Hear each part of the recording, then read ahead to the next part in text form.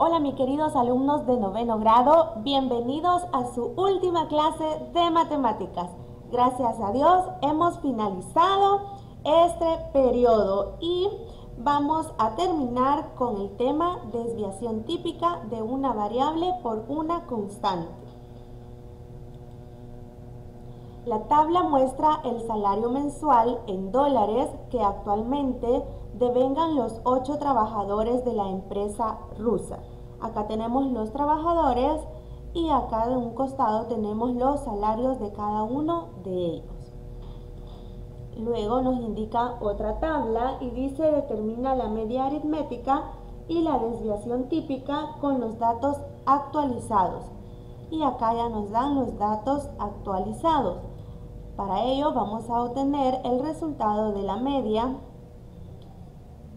Colocamos el símbolo mi igual a la sumatoria de todos los números que están en la tabla divididos entre el total de datos, que es la media. Al sumar todos los datos obtenemos el resultado de 6.680 y lo dividimos entre 8. Acá vamos a corroborar 1, 2, 3, 4, 5, 6, 7, 8. Son 8 los, que, los trabajadores que tenemos, así que los dividimos entre 8. Luego el total de la media es 6.680 entre 8 igual a 835 dólares. Y así es como hemos obtenido la media. Ahora vamos a continuar con la varianza. La varianza, acá colocamos el símbolo, es la sumatoria menos la media entre el total de datos. Acá la sumatoria y lo elevamos al cuadrado nos da 677.600 entre 8. Y acá vamos a dividirlo y tenemos como resultado la varianza que es 84.700 dólares.